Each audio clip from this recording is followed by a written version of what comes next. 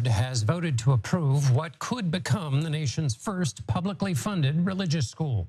The. This is great news, mashallah. So this is a public school or a private religious school that's going to be funded using taxpayer money. So this is great news. This really helps to undermine the secular education that's used to indoctrinate people against religion. The Young Turks oppose this because they're secular propagandists. So their job is to promote liberalism and secularism, secular liberal ideology, and religion is the number one obstacle to that. Came from the Catholic Archdiocese of Oklahoma. It aims to create an on from kindergarten through 12th grade. It would be funded by taxpayer dollars and Oklahoma's attorney general warns it's unconstitutional and opens the state to potential litigation. Well, uh, it does certainly open the state to potential litigation because we do live in a society that is, you know, governed by a constitution that separates church and state. The idea of public money pouring into a religious institution, in this case, a religious Catholic school, seems to go against those constitutional protections. Well, Anna, not everyone believes in secularism. Not everyone holds those values. You know, notice how these liberals try to place liberal ideology, secular ideology as the ultimate thing, the con- Constitution. You know, that's like their Bible, pretty much. But nonetheless, the Supreme Court, considering how conservative, but before we get to the Supreme Court, why don't we talk a little bit about this school in Oklahoma?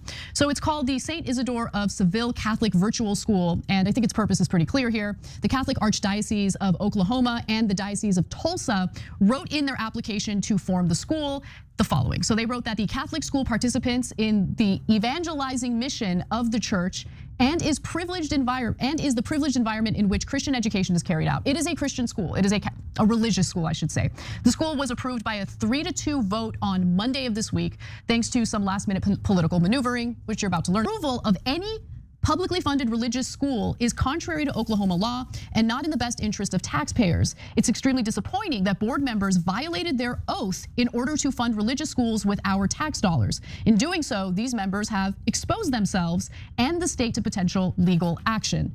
So I just want to ask the state of Oklahoma, those who are proponents of what's transpiring here, if they would be okay with taxpayer money being funneled to a religious Muslim school understand what she's trying to do here. She's trying to make an argument from hypocrisy. So she's trying to say that, oh, as a Christian, you wouldn't support Muslims doing this or Jews doing this, therefore don't support it. And it's this this uh, argument that liberals and secularists often use is to say that secularism, even if you don't agree with it, gives everyone religious freedom and is the most fair system. This is what they usually appeal to to non-secular, uh, non-liberal individuals. John.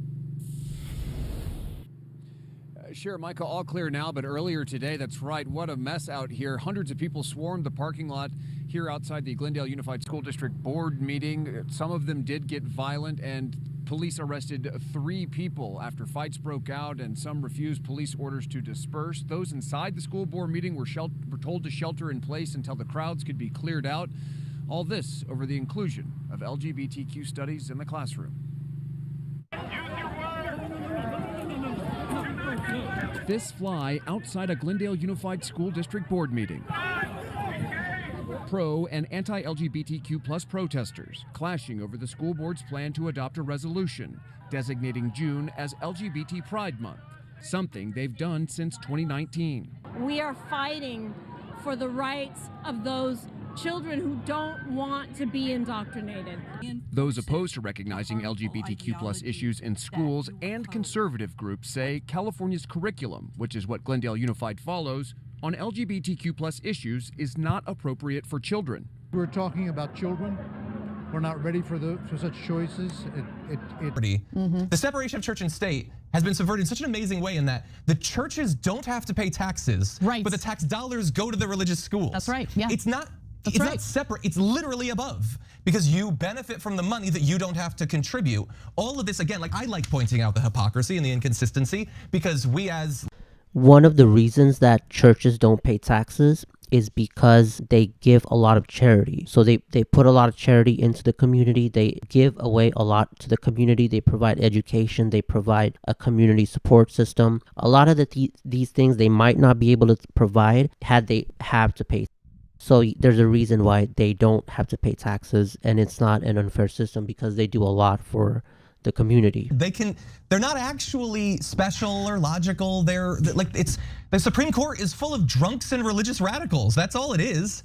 Sexual assaulters and the most corrupt people in the country. They're not special, they're not awesome. They're politics So right here, really, this is the heart of the issue because a lot of these atheists, a lot of these secular extremists are very, um, they're very hateful against religion. They hate religion. So usually they try to mask it under objectivity or or some sort of principle, but in reality they just hate religion. And in this case, it comes out where they're just like, oh, they're just sexual assaulters. They're just a bunch of rapists. Meanwhile, in the in the image, it shows the homosexual indoctrination of children, right? So that's actual um, predatory behavior. That's actual, you know, a lot of these LGBT groomers they protect. They want these schools to teach homosexual propaganda while disregarding religion. So pretty much their values, uh, schools are mediums to pass on liberal secular values to the children. That's it. all they are. So let's talk a little bit about why John is onto something because the Supreme Court has been dismantling to some extent, um, you know, the secular education system in the country. So let's talk a little bit about that. So in a 2017 case, for instance, the court ruled that a church-run preschool in Missouri was entitled to a state grant to resurface its playground. Three years later, the court ruled that Montana could not bar recipients of the state's private school voucher program from using them at religious schools. And last year, the court said that a Maine voucher program that sent rural students to private high schools in communities that had no public ones had to be open to religious schools. Look, that very last part, I think, is way more complicated. If you're talking about students in rural parts of the country that don't have access to public schools, I can understand the reasoning behind it, right? Like the reasoning of allowing uh, for some funding to go to religious schools in those rural areas. But how about we build more public schools so uh, public money isn't going toward private institutions? But anyway, According to Anna, she says just build more public schools, but that costs a lot of money to the taxpayer. And that's also another previous point John made is why are churches tax exempt? They're tax exempt because of stuff like this, because they provide community support. A lot of people who can't afford school, they go to, you know, Christian run schools which are funded by charity from the local community. And but notice the strategy here. She wants to get rid of um, public or any sort of public Christian schools that get government vouchers. She wants public schools to spread, and these public schools will then be used to promote secular liberal propaganda and ideology to children, and including grooming and pedophilia by the LGBT. So this is their strategy. This is what they employ in order to undermine religion.